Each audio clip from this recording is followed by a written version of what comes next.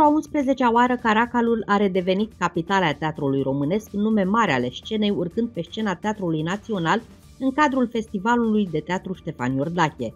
Ediția din acest an a început pe 13 iunie și se va încheia duminică 20 iunie. Azi se va juca la ora 19 piesa Republica Melania, distribuția Rodica Mandache Marius Manole la un preț de 40 de lei.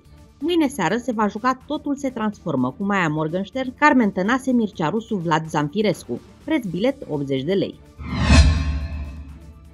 Primăria Balș a scos la concurs un post de șef de centru la creșa numărul 1 și unul de electrician. Pentru primul post se cer studii superioare în științe economice, medicină sau științe ale educației și minimum 2 ani vechime în specialitatea studiilor, 30 iunie fiind termenul limită de depunere a dosarelor. Proba scrisă a concursului se va organiza pe 8 iulie, iar interviul pe 13 iulie. Pentru electrician se cere adeverință de electrician autorizat, 28 iunie fiind termenul limită de depunere a dosarelor. Concursul se va organiza pe 6 iulie, proba scrisă și 9 iulie interviul. Slătinenii și nu numai sunt invitați din nou la teatru. Piesa Bărbatul Perfect Defect se va juca la Centrul Cultural Eugen Ionescu vineri 25 iunie la ora 19.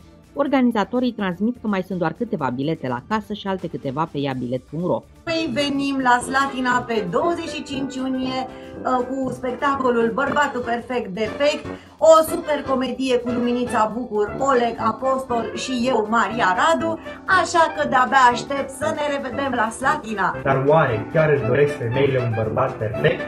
O comedie scrisă de Maria Radu, cu Maria Radu, cu Luminița Bucur și cu mine Oleg Apostol. Ne vedem la Centrul Cultural Eugen Ionescu.